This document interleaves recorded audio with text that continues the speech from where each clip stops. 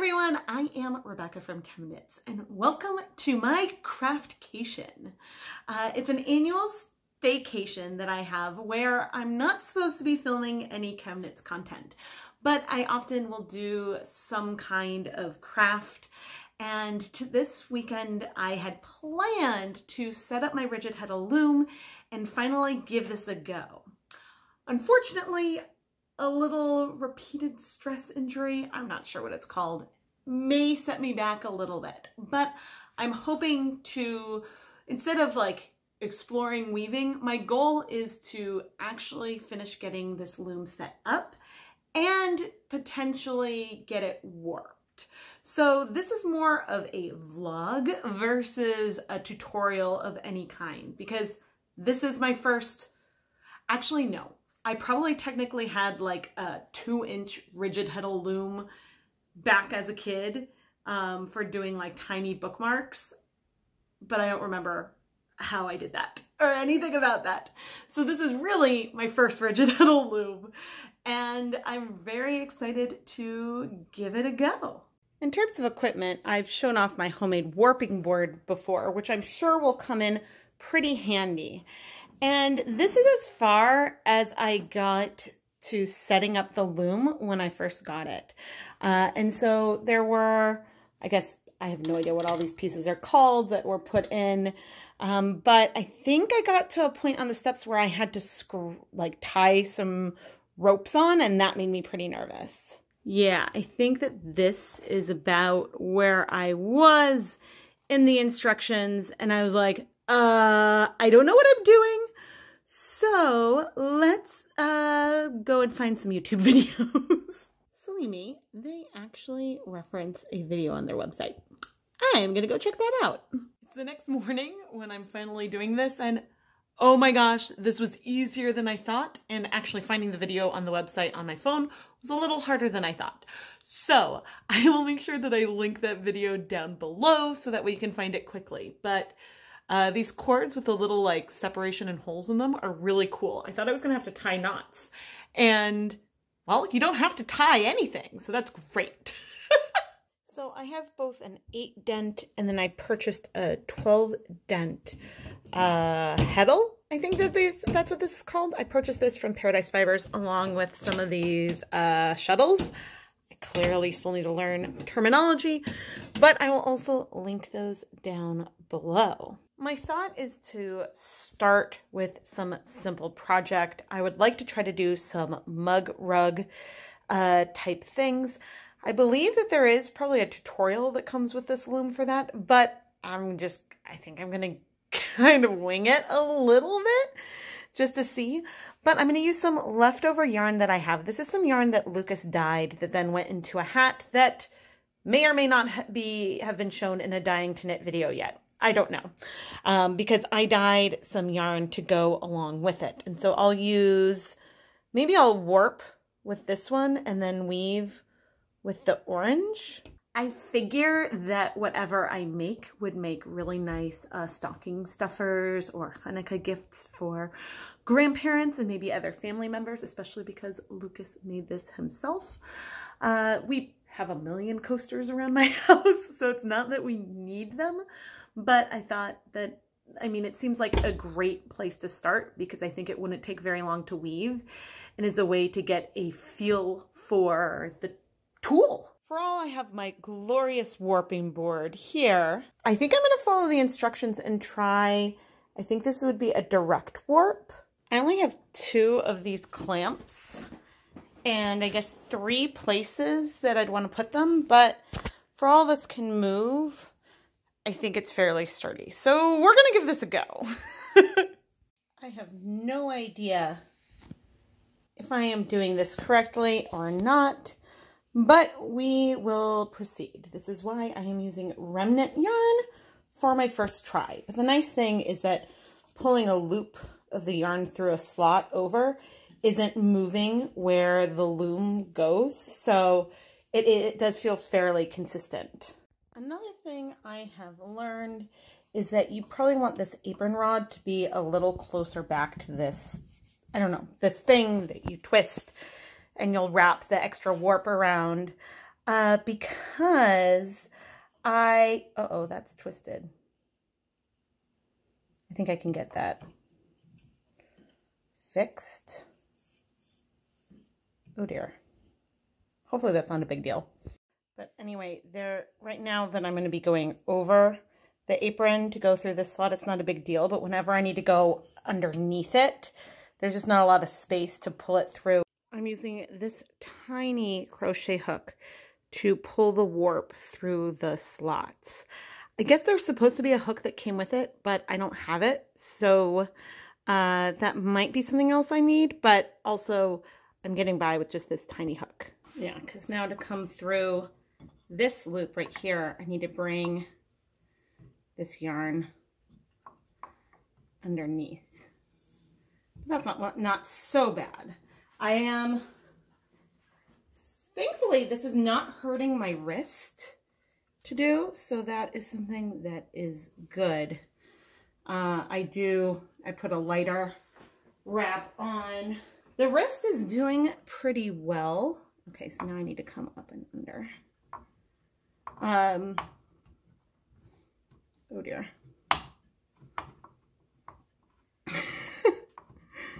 Give me a little more slack. See, it's getting like closer and closer as things go on. My wrist is doing pretty well. Uh, I am not in that much pain. It's still, unless I try to like really use it, which is unfortunate, but manageable. And so I would say that this, it's funny, putting the crochet hook through this little spot is feels very similar to how like I can't you can't really twist or maneuver the hook but similarly that's like what I can't do with my wrist right now so anyway this is going much faster than I expected and I have to think about how wide I want it I'm kind of making it up making it up as I go along so I should look into how much things shrink, both in terms of like from being pulled in from the actual weaving, but then I know that like wet finishing is a thing, and so that may cause some shrinkage. I believe that this yarn I'm, I'm warping with right now is superwash, and the yarn that I will be weaving with with the weft I think that's the right term. That is not superwash. So that is something else to keep in mind. But this actually may be pretty good. It's about five inches across and one of my coasters does fit across it. So maybe I'll do one more slot and then I'm going to attempt to finish this off. So let's see. One last one. Not bad. Not bad. The wonderful person who gave me the heddle also gave some heavy paper, which wasn't quite long enough for what I was doing here, but hopefully that won't be a big problem. But it looks so pretty. And now I think I've got to transfer some of the yarn into from the uh, slots into the holes. Okay, so far so good. So I've discovered I don't need to remove the warp all the way. I can just sort of pull it through like so.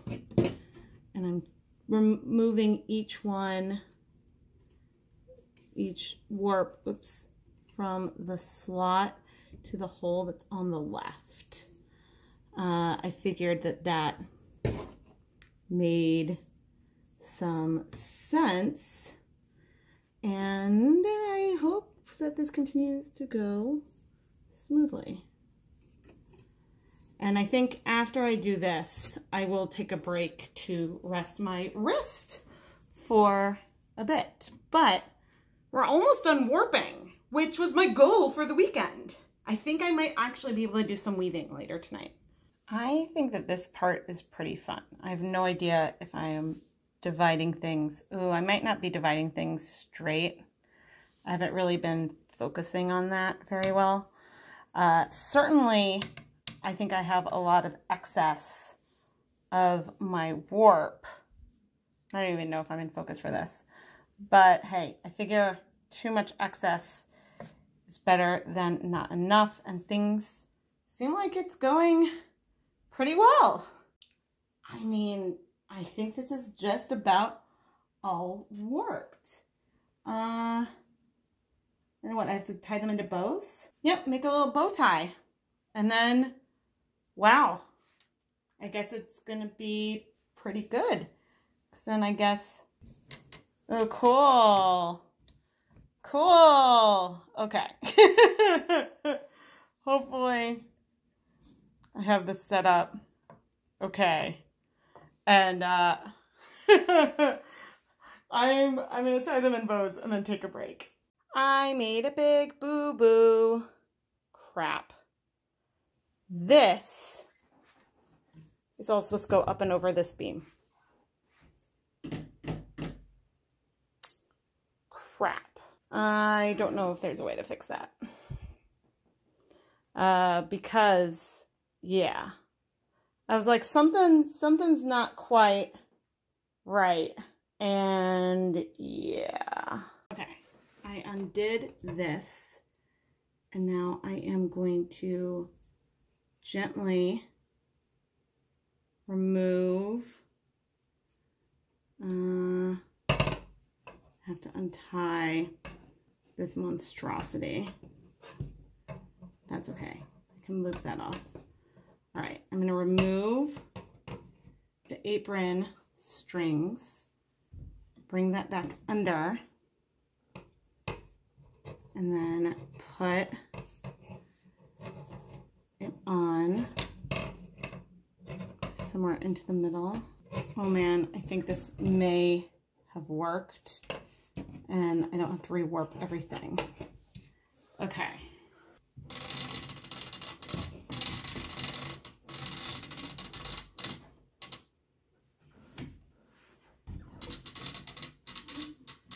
Oh my gosh. I think that this may work. Oh my gosh. Okay. To figure out how to feed the paper. okay, but I'll be back. I'll be back. so the back is fixed. I'm going to have to do the same thing with the front, which is going to mean retying these. But since I redid things and they're slack, I need to retie them anyway. So, well, you know, eh, you learn the first time. Okay, I think this looks better. so now, oh, I can go into the up position and there's space. And we can go into the down position and there is less space, but I have a feeling that once we get started, that'll be better. So we have successfully warped the loom. This is the problem I have sometimes with written instructions and written tutorials is that because they both wanted to show a close-up of the area that you were working on, there wasn't a also a pullback and it was hard to see where sh things should be in respect to all of the bars. So this is a learning experience. I'm glad that I figured out a way to fix it uh, without completely redoing everything in the slots and holes. I think that that would be really, really hard. Um, but I think that overall this didn't take as long as I thought it might. And given that I am a complete beginner, uh, this means that this is something that I think would be faster uh, the more you get going. And so I think that that is really good. I'm relieved. Uh, the peg thing worked really, really well, except I think that if you wanted to make something a lot longer, then you probably want to deal with a warping board. Uh, so I am, again, very, very excited, and I'm going to go rest uh, for a couple of hours to uh, try to give it a break. I am, uh, I think I'm I think it's doing fine, but I am trying to be really careful and listen when things ache. And so that's my sign to take a nice break. but given that I amended my goal from doing my first ever weaving project to warping the loom for the first time, it is warped. I have done it. And uh, next, I guess I'll have to wind yarn onto the shuttle and then we can try to start weaving. Okay, I'm winding onto the shuttle. I hope that I'm doing the figure eight correctly. And I also hope that like the reason for the figure eight becomes like apparent at some point. Um, I guess it's a little easier to do than to wind around and around, maybe. I don't know. I'm assuming that it would be easier for getting the yarn off. But again, I don't know yet. So we'll have to uh, wait and see. All right, we are ready to give this a shot. I use some of these big craft like tongue depressors to, you can see like how the warp is like spread out where we tied it and then it makes it a little bit more even. So this is a thing that sometimes people use like pieces of paper and stuff. So we'll see. Um, these might be a tiny bit narrow, but I'm going to give it a shot and I'm going to, well, maybe try to move this somewhere so it's at a less awkward height, but try to start weaving. Look at that. I'm weaving. This is like just a couple minutes. I have no idea. Like I'm in a rigid heddle like group, Facebook group and so people always talk about like not having it be too tight and so I feel like this feels very balanced with the warp and the weft but I have no idea if like things will I mean because it's two different fiber types so I have no idea what will happen when I wet it if things will sort of fluff up or what but this is a learning experience. In worst case scenario, these can I can turn these into like little itty bitty bags or something for the kids to play with. So I'm just very excited. It's not perfect, but this is the first thing I've woven and we're about five inches across and about five inches in length. So I think it's time to advance and move on to another one. And I could cut the yarn now, but I am not going to. I'm going to come in, I think, with some of these popsicle sticks. I don't know how big I want the fringe to be. Certainly not that big, but figure it's better to have more space reserved than I think that I will need. So now, well, I'm going to have to advance it because I'm not going to be able to get through up there.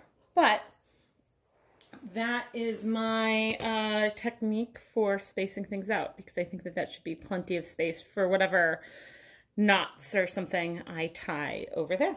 Aha. So this first one is going to be a little tricky. So the thing that has been tricky for me is to not beat too hard. So try to keep loose. And I'm definitely not pulling too tight. But I am pro... Ow. but I am probably going a tad bit too loose um, for the selvage. Oh, I think some people say sometimes they like double up the strands on the edges or something. I'm not really sure.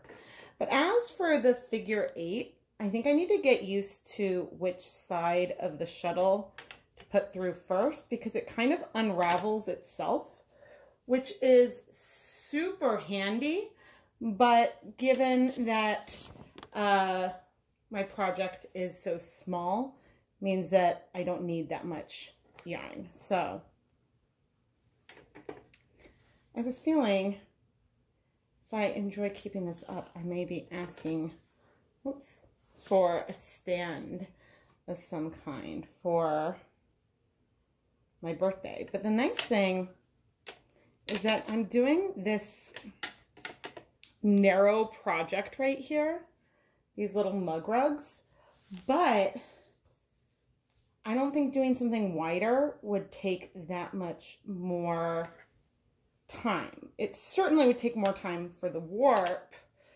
but it wouldn't take more time to like put the shuttle through something that was the entire, I forget how big, if this is 15 or 16 inches. So that I think is pretty cool that we yeah, it means that things can go pretty quickly. And obviously, if you have like a, a dent that has more strands per inch, it would take longer as well. But for a worsted weight project, uh, this is going, oh no, rather nicely. And of course, it's a little awkward because I've put the camera in there and I have no idea if it is focused or not. But so far, so far so good and I'm pretty happy with it. And so in just, what, those couple of minutes, I have woven one and a half inches. So this could go pretty quickly. Quick question. Am I supposed to be inserting paper when I'm like wrapping up my finished weaving? I don't understand the purpose of the paper on the warp side that you wrap up, unless that's so that way maybe you don't pull things too, too tightly and stretch the yarn. I don't know. So it's also possible because of stretching it that things will be not as square as they are on the loom. There may be some like shrink back, but you know, it is what it is and we will see how things turn out. I've lost track of how many of these I've done so far. I guess I could probably count the popsicle sticks, but We've done a lot. I'm trying to sneak, see if I can sneak one more out. It's a little harder. There's like a little less space in here, but uh, I figured maybe we can fit one more and then we'll go and cut our cloth. The setup of the whole thing was a little bit intimidating, but otherwise, I think that the whole process overall has been fairly intuitive and easy to manage. Maybe though it does help that I have been lurking and seeing posts come across my feed. So there were some tips that I had known because I'd been following all that, even though I didn't know really how to warp or anything like that. So I am very, very happy with how things have gone. All right, I now need to cut all of the yarn and I want to be careful and not cut the apron strings. I did already reduce the tension um, so that way things would not like snap forward or anything. But, and, oh no. This, I'm just to snip there. But now I think I can pull this out Oh, we have one more string to snip. Now let's just unroll this. Uh-oh, why is it stuck? Because that's in the way? Whoa, this is bigger than I thought. So we have, how many did I do? Six? Wow. All in an afternoon. I don't think I could have crocheted things this size this quickly. Um, so let's see. I would say if we start at the beginning, and the light isn't so great in here right now, I think I was fairly consistent through. I think I started pulling a little bit tighter. So these at the end, maybe, yes, they are definitely a bit more narrow than the ones at the beginning. But this is so cool. I do need to be careful because I haven't done any finishing details yet. And this is already becoming a tiny bit loose. So I don't know how I'm going to finish these off. I don't know if I left enough space in here um, for a tiny little mug rug fringe. We will figure that out. But for my first attempt, I think these are great. I am going to wait until tomorrow before I try to knot off any of the fringe. I plan to do something simple, short, knotted. Uh, hopefully there's enough space to do that. If not, then we'll try to figure something else out. But I would say for a practiced run, this is pretty, pretty wonderful and I'm very, very excited. I, in the morning, I will look and see about how to knot. I think that I don't want, I, I yeah, I, I don't know how I'm going to knot and get that close to, but we will find out. Never mind. I watched a little video and so then I started just coming and knotting. And I'm a little bit nervous because right here I have plenty of like fringe space. I'm not making them that tight yet because I figure I can always tighten them at the end. But I have so much fringe space here that I'm afraid that when I get over here and don't have nearly as much space, it might be harder. But I'm doing three strands at a time because I counted and that would be even. Yeah, I didn't do myself any favors. It seemed like this was plenty of distance for like a short little fringe. I didn't think about having to tie knots. I think if I had done six of these popsicle sticks in between each one, or maybe, yeah, six would have been like a minimum for easy tying. I was able to do it and I will be able to tighten and neaten these up. And I feel like the two sides will be fairly consistent, which is good. Uh, I'm definitely not going to trim anything until I have wet finished the fabric. And now for real, I am going to put my, my overnight splint back on and stop for the night. I am going to stop. I promise. Okay taking lots of breaks. I think I have settled into a rhythm where I will twist the three strands I want to knot and then pull it through with a crochet hook, which sometimes takes a couple of tries because sometimes, oh, that one did fine. Because sometimes I won't get the knot, like everything in all the way and then have to like adjust and move it down towards the edge. And so it's not perfect, but it's working. And I did start like on mostly one side, but since I know that it goes all the way even, I did go ahead and do one on the other side. So that way we don't unravel the weave at all. And yeah, my hand, it's doing okay. I am again trying to take lots of breaks uh, and, you know, splint it and rest periodically. But I do have two done, so that's really good. Well, they still need to be wet finished. Um, but yeah, I'm happy with like the drape and stuff. And so it's not as soft as like I usually find this yarn. Not that Wool of the Andes is the softest, but something about it feels a little rougher currently woven. But uh, I'm excited to, I guess, see the difference between wet finishing and maybe I'll have one that I don't wet finish. I'll try to pick two that look similar. So uh, I'm going to carry on. So using these sticks worked pretty well, although I found the ones that were closest to the center, and maybe it's because of how they had some stress on them, um, are no longer super smooth there. You can see that they have some more texture on them, which caught um, on the yarn a little bit as I attempted to remove them.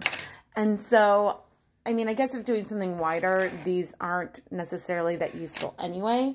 But I guess I recommend trying something else, uh, which I'm a little sad about because I really liked using them. Finishing this last edge, oh, was so much easier. Leave way, way more space than you think you need two inches is not enough to easily tie. Nope, nope, nope. And now if I compare the first thing that I wove versus the last, I would say my edges are not super straight here, but I was a little bit closer to the edge here. Some of these edges, I was so worried about moving it too tight. It's a little bit too loose. So yeah, I, again, don't know if there's like a huge difference in the drape or anything, but I'm excited. I picked one that's a little looser, one that's a little denser to try to go in wet finish. And I would say both of these are about five inches wide and just shy, maybe four and a half to 4.75 inches long. Um, and so we'll see what happens when we go and do this. I'm a bit nervous, not because I'm worried that I'm going to ruin it.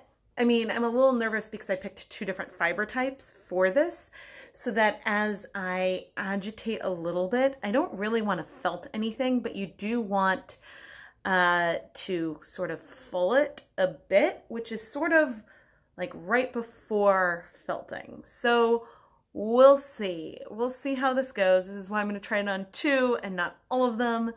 And well, yeah, I guess I'm not going to show this because I don't know what I'm doing, but I will come back and share what happened. Oh, and I haven't woven in the, the weft yet, which also I wish I had left a little longer. So I haven't done that yet, but I'm curious what happens if I wait until I do it at the end because when it comes to like weaving in loose ends, I usually like to do it after I've been blocking so it doesn't uh, change the drape at all. One other thing I'll add as I'm using, well, I guess hand soap, because that's what I have over here, and warm water, is that it actually does take a lot of agitation to actually felt something. So, and this isn't that warm yet. So I wouldn't be like too stressed out. I do have some videos on um, felting things by hand that you can check out. But anyway, I'm going to use both of my hands to do this, but ooh, look at how much more drape we have now. Oh, interesting. Oh man. but I guess that's, this is what I'm going to be doing. And good to see that um, the hand-dyed yarn is not bleeding. I just want to add that I'm not expecting things to shrink because of felting and shrinking in that sense, but I wasn't sure if because things may have been a little bit stretched on the loom, if as the fibers relax and they sort of settle down into place and sort of settle into the weave versus feeling a little bit more straight and stretched, if then they might shrink um, a little bit in that way. Uh, and so it wouldn't surprise me if it does that. But I read one article that said that you should like be really, really rough and beat and put it through like a machine wash cycle. And then I read it to finish the fabric. And then I read, I watched this other video that was like, no, just like soak in hot water with some soap and then, you know, sort of uh, remove the liquid like you might if you were blocking a sweater in between a towel and like patting it dry and then letting it dry. So I kind of like moved it around in the water for a bit and now I'm gonna let it soak for 30-ish minutes and then we'll see. I wasn't gentle with the ones that I just wet finished and I would say it does seem like things have bloomed a little bit more. There's a little bit less, you can see some little gaps in here that seem to have filled a little bit. I'm gonna let them dry, but I think that they've shrunk along the warp, which makes sense. That was pretty well stretched. But they've almost grown a little bit this way. So that's very interesting. And I am excited to, I guess, see what they look like when they're dry. And then I'll probably wet finish the rest. All right, so here's one of the loosest coasters. Then the one that I agitated a bit more. And then one that I wet set but I didn't agitate. And you can really see the difference in the agitation. Even though this white yarn was superwash, you can see how much more fluffed our fringe is over here versus here. And I have to say that washing them and like soaking in warm water, which I didn't add soap to this one, I kind of forgot, does improve the overall drape and feel. Like, I don't know if my phone is picking it up, but the the yarn has definitely bloomed a bit and settled into the pattern more after wet setting. But I like the increased closeness we got from that little bit of agitation and encouraging it to bloom a little more. So I think now I'm going to redo the two, these two that I did with no soap and no agitation. And I'm going to do the two here that I haven't set um, washed at all yet. Can you tell the difference? You can a little bit and see how like the yarn has relaxed a little bit. It's very, very subtle, but it does seem to make a difference. I did trim uh, this one before I'm doing this, so that way maybe I can use, ooh, that's nice and hot. Maybe I can use some of that yarn for something else in the future. That might be a little too hot to comfortably handle. Okay, that's better. Um, and I don't want to overdo it, but I, now we have soap and I don't have a control. I could have done a control and like just soaked some with soap um, after doing the some that, and I'm not going to be able to tell the difference between the ones that uh, had soap and didn't. But actually, even just looking at that feels, I don't know. I'm not going to agitate them a ton, but a little bit of just some touching and then letting this soak for 20 to 30 minutes. I don't know. Maybe I'll rub them with my hands a little bit. I'm not like trying to felt it, but we'll see how, I can always see how it looks and then reevaluate. Obviously, if I wanted something very, very consistent, then I should have done them all at once, so then the treatment would be the same. But I think that I don't know, I'm going in this deep dive of wet setting, it feels like, and maybe I'll cut a lot of this. But I was just curious how, like, it would behave. And so I think that just like blocking, wet finishing is very, very important. And I think that, you know, for something that is like basically a coaster, I definitely want there to be fewer gaps because I want to make sure that uh, the yarn would soak up any liquid that spilled. But I think that if it was a scarf, I would be okay just letting it soak. Uh, so again, I don't know how much of a difference the soap makes, but I don't know. I, I've really, really enjoyed this whole process and I'm already like thinking about what I want to try next. In the end, I do think I like the ones that are a bit more fulled, that I was a bit more aggressive with, a little bit more than the ones that I treated a little more gentle.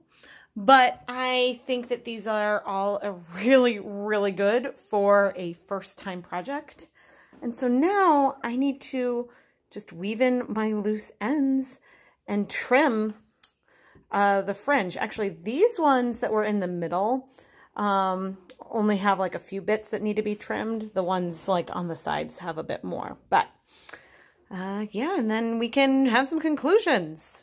I'll show some photos of the completely finished mug rugs as I am chatting here, but I want to thank you all so much for coming and checking out this vlog of my first time weaving with a rigid heddle loom. At least as an adult, I think I may have had like a super tiny one as a kid, which I have some vague memories of, but that doesn't really count because I didn't know what I was doing then.